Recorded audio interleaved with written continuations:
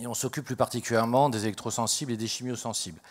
Nous, la conclusion que l'on a au bout de deux ans, c'est une équipe multidisciplinaire avec un neurologue, avec un, pneumologue, un médecin interne, c'est qu'on a quand même, pour les électrosensibles, un très gros, enfin, on est tout à fait convaincu de la réalité de ces symptômes, d'une irritabilité au niveau du cerveau qui est très forte, de problèmes de migraine qui sont extrêmement importants. Et on arrive, euh, ce qu'on explique à nos électrosensibles, ceux qui viennent nous voir, c'est que malheureusement, on ne peut pas se réfugier dans des zones blanches, parce que ça, c'est maintenant impossible. Ce qu'il faut, c'est arriver à soulager le cerveau.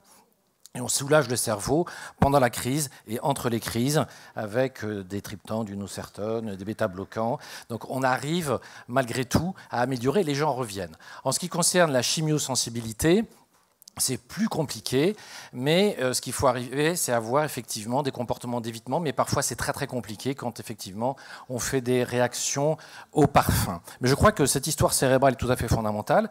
Et tout à l'heure, vous avez montré que dans le cas du syndrome fatigue chronique, 80% avaient mal à la tête. Et quand on arrive à les soulager, quand on arrive à diminuer cette irritabilité cérébrale, quand on sait que c'est le trijumeau qui va agir sur des phénomènes vasculaires, mais aussi qu'on a des phénomènes effectivement euh, euh, inflammatoires importants, et bien entendu, il y a encore beaucoup de choses à faire. Je voudrais dire aussi, rebondir sur l'alliance, je crois qu'on s'aperçoit d'une chose, c'est qu'il y a... Euh, effectivement parfois une espèce d'omerta par rapport à ces pathologies et il faut voir qu'il y a une crispation, un déni, je dirais, d'une partie des scientifiques qui se considèrent comme gardiens d'une orthodoxie. Et pourquoi on a ça?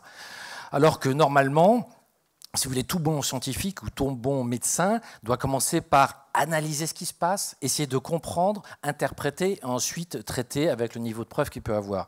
Et je crois que la nouveauté, c'est euh, que eh bien, il y a beaucoup de choses sur les réseaux sociaux, il y a eu beaucoup de choses au niveau euh, des médias, et tout d'un coup apparaît ce qu'on peut appeler, entre guillemets, bien entendu, une expertise profane.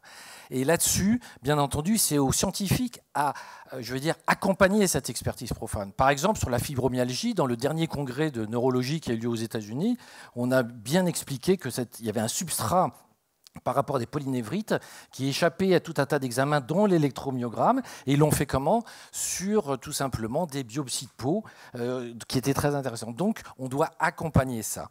Au nom du réseau, je voudrais dire euh, trois choses.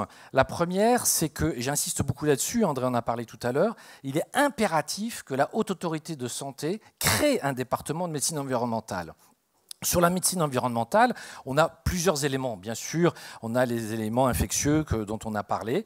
Ensuite, on a une aggravation d'un certain nombre de pathologies, de diabète, de cancer, d'infertilité, d'allergie dont vous avez parlé tout à l'heure. Et puis, des maladies totalement nouvelles, entre guillemets, que sont le HS et euh, bien entendu euh, la chimiosensibilité qui ressemble un peu aux allergies, même si ce n'est pas bien entendu médié de la même manière. Ça, c'est le premier point. Le deuxième point, c'est qu'il faut aussi absolument que la loi de santé publique intègre la santé environnementale, comme l'a dit Jean-Louis Roumégas.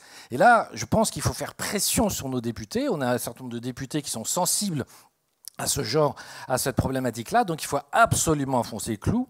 Et ensuite, en ce qui concerne la formation des médecins, c'est quelque chose de bien entendu compliqué. Mais à partir du moment où au niveau de l'HAS, on a un département de la Haute Autorité de Santé de santé environnementale qui tiennent la route, à partir du moment où au niveau du ministère, euh, on intègre cette notion de santé environnementale, et la porte est presque ouverte, puisque avec André, et Madeleine, on avait été reçu par le conseiller euh, santé de, de l'Élysée un peu sur ces problèmes-là, mais il faut arriver à amplifier la chose. Pour les médecins, il faut arriver d'abord à les sensibiliser. Il y a deux catégories qui est urgent de sensibiliser.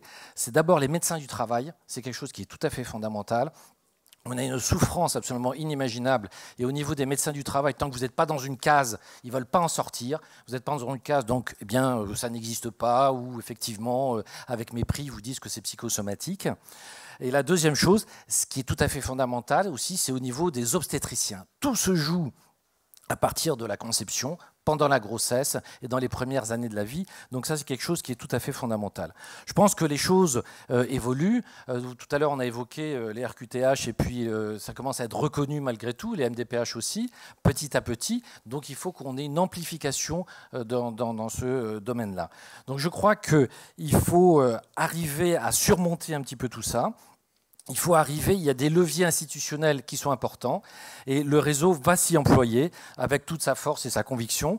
Je vous rappelle que euh, ici même, euh, déjà il y a euh, cinq ans, puis avec l'aide aussi de, nombreux parlementaires, de nouveaux parlementaires, on avait réussi à faire admettre le changement de paradigme au niveau des perturbateurs endocriniens ce n'est plus la dose qui fait le poison, mais le moment de l'exposition. Maintenant, c'est admis eh bien, il faut qu'on arrive à avoir aussi une réponse un peu institutionnelle et puis arriver à développer. Et je voudrais aussi euh, rendre hommage à toutes les associations, je ne veux pas toutes les citer, qui ont une action extrêmement positive. Et je pense que pour aider les médecins, euh, je crois que ce qui est intéressant, c'est de pouvoir fournir les études qu'on repère les uns les autres, et on peut tout centraliser ça aussi un petit peu au niveau du réseau environnement santé.